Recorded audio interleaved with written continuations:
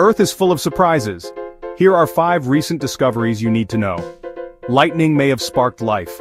Harvard scientists propose that lightning strikes might have catalyzed chemical reactions leading to the inception of life on Earth. Donut-shaped structure in Earth's core. Scientists have discovered a donut-shaped structure within Earth's outer core, affecting the speed of seismic waves and offering new insights into Earth's magnetic field.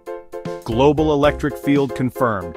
NASA scientists have verified the presence of an ambipolar electric field that surrounds Earth, a discovery considered as fundamental as gravity. New mini-moons orbiting Earth.